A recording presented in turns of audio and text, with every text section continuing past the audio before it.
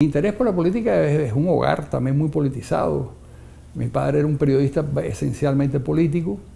Eh, mi casa era una casa visitada constantemente por, por políticos, entre ellos Fidel Castro, que era... Yo no tenía la menor idea de quién era aquel hombre grande que fumaba mucho y que pedía café constantemente. Pero era Fidel Castro, que fue alguna vez con su mujer y con su hijo recién nacido, se lo recuerdo vagamente finales de los años 40, principios de los años 50. No tengo... Él era parte de una organización que dirigía un tío mío, o un primo hermano de mi padre, yo no sé cómo exactamente cómo es ese pariente, un primo hermano de mi padre que se llamaba José de Jesús Ginjauma Montaner.